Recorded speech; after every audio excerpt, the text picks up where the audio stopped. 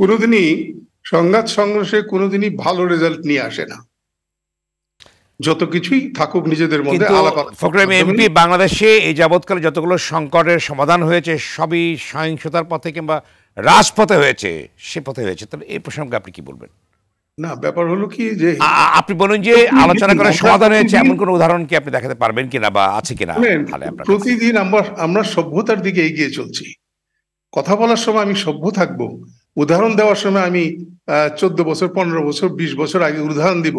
এবং এখানে পোস্টমর্টম করে কার কি আপনার অপরাধ করেছে সেগুলা এখানে তুলে ধরবো।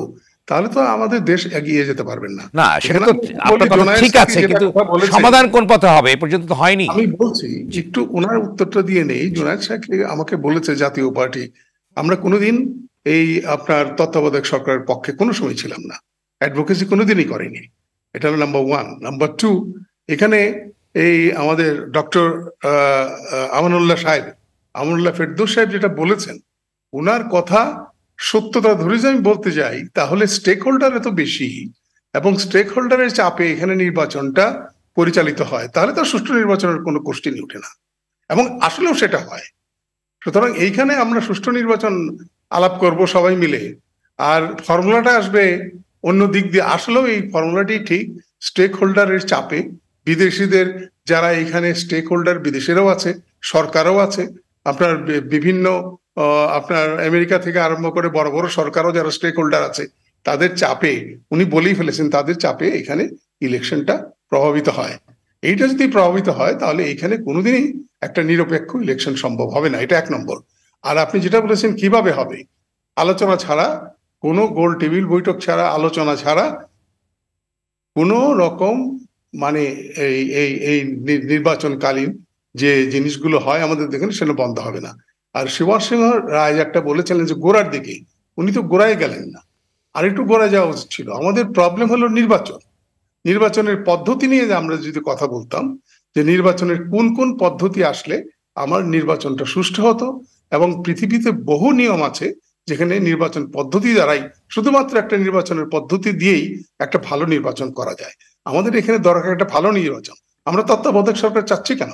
চাচ্ছি এই জন্য যে একটা ভালো নির্বাচনের জন্য। আমরা অন্য কোন যত রকম এখানে কথা আলোচনা করেছি সবগুলাই একটা নিরপেক্ষ ইনক্লুসিভ কিন্তু সেই তত্ত্বাবধায়ক বিতর্কিত হয়েছে। না সেজন্য বলছি আমি যে আমরা একটা নিরপেক্ষ। আমার কথা হলো যে গণতান্ত্রিক উপায়ে আসেন এই এই এই সরকারকে বদল করেও যে আরেকটা ভালো সরকার আপনি আনতে পারবেন সেটা আমি বিশ্বাস করি না। সেজন্য আগেও বলেছি, এখানে অনেক রকম প্র্যাকটিস হয়েছে, কোনোটাতে আমাদেরকে ভালো রেজাল্ট দেয় নাই।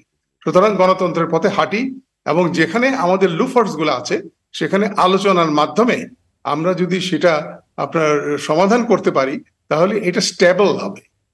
স্টেবল আছে এমপি আপনি বলছেন আলোচনা আলোচনা আলোচনা সবসময় বলছেন আপনি গণতান্ত্রিক ভাষায় বলছেন কিন্তু যে সংস্কৃতির যে অবস্থা বিরাজ করছে দুটি প্রধান রাজনৈতিক দলের ভিতরে যে একটা একটা অনর অবস্থান সেখানে কীভাবে সংকট সমঝোতা হবে বা সংলাপ হবে আপনি কি বলবেন?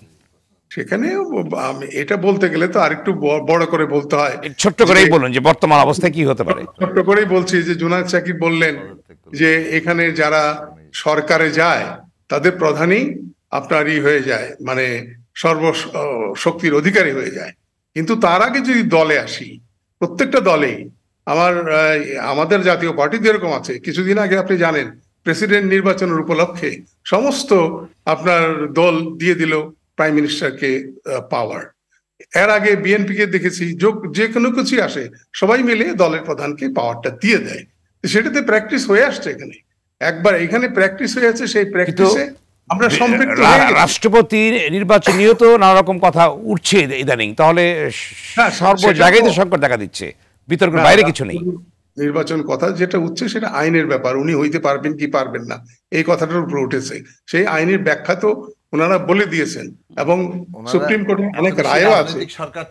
একজন সেটাতে আর আপনি পেলেন না। সেখানে তো আর কোনো কথা বলতে পারবেন না। আর মানুষের মানুষের প্রভেদ করা ঠিক না। মানে আপনি রাজনীতি করতে পারবেন আমি রাজনীতি করতে পারব না এই প্রবাদটাও আমি বিশ্বাস করি না।